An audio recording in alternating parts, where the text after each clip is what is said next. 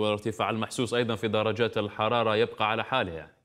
بالفعل طارق. يعني نقول لك الاستقرار يبقى نسبيا ببعض ولايات الوطن إن شاء الله إن شاء يعني الله. بداية من ظهيره يوم غد نتوقع هناك نشاط لخلايا رعدية موسمية راح تكون ممطرة بحول الله. راح تعرف خاصة المناطق الداخلية الوسطى والشرقية كذلك على شمال الصحراء منطقة الواحات كذلك على أقصى الجنوب وصولا لغايه مرتفعات الاهجار والتصيري حيكون هذا النشاط لخلايا رعدية ماطر بحول الله.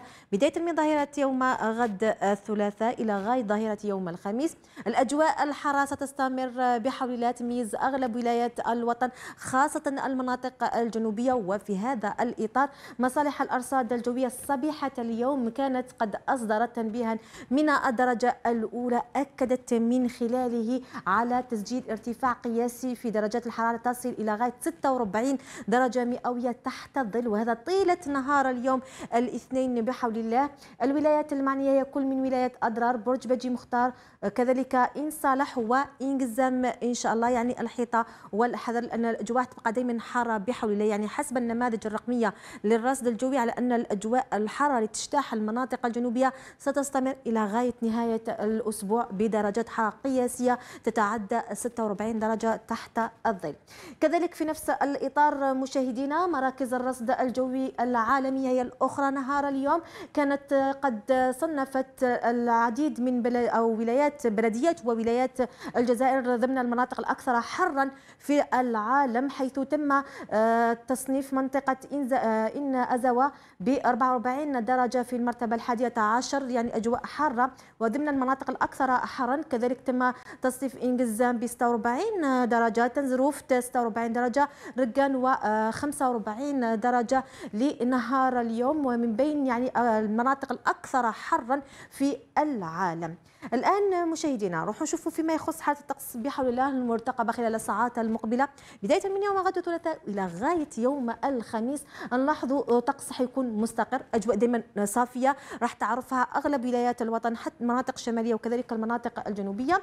دائما هناك إن شاء الله مثل ما سلفت ذك ظهيرة يوم غد الثلاثاء نتوقعوا نشاط لخلايا رعدية بحول الله مرتقبة أنها تعرفها المناطق الداخلية الوسطى وكذلك الشرقية على كل من ولاية بسابتنا كذلك كذلك على الجلفة آه، لغوات حتى على مدينة المدية والبويرة كما حنلاحظوا الآن في الصورة. هي نفس الوضعية الجوية إن شاء الله مرتقبة إلى غاية يوم الخميس المقبل بحول الله. كذلك غرداية المنيعة بعض الأمطار الرعدية إن شاء الله مرتقبة ظهيرة يوم غد الثلاثاء إلى غاية ظهيرة يوم الخميس بحول الله.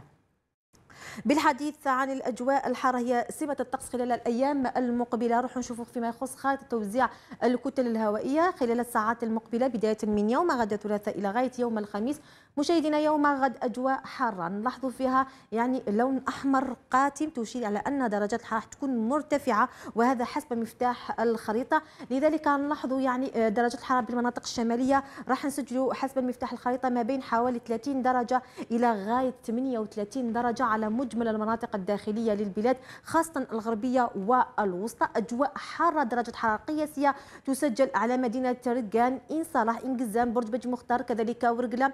حتى على توغرت كذلك على المنيعة غرداية أولاد جلال إليزي وجانت. من خلال تلحق حتى إلى غاية أقول 46 درجة إن شاء الله. وهذا ظاهرة يوم غد ثلاثاء نفس الكتلة الهوائية إن شاء الله مرتقبة خلال يوم الأربعاء والخميس كما نلاحظوا الآن في الصورة وعلى المباشر تشير على أن الأجواء تبقى دائما حارة وكتلة هوائية ساخنة تغطي أغلب ولايات الوطن كما نلاحظوا يوم الأربعاء ظاهرة يوم الأربعاء نفس. يوم الخامس أقول نفس الوضعية الجوية إن شاء الله أجواء حارة يعني أمر عادي أنا على مقربه من دخول فصل الصيف وهي سمة الطقس خلال فصل الصيف أجواء تكون حارة إن شاء الله بالنسبة حالة البحر خلال آه، يوم غد الثلاثاء يبقى دائما البحر يحافظ على الهدوء والاستقرار لكن هذا على سواحل الغربية وكذلك الشرقية. مع رياح ضعيفة لن تتعدى سرعتها ال 20 كيلومتر أقول في الساعة لكن على السواحل الوسطى سيكون بحر نوعا ما من هادئ إلى